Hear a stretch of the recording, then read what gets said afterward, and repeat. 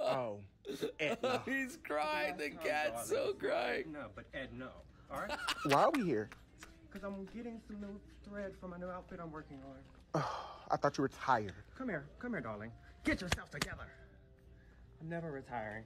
You should. All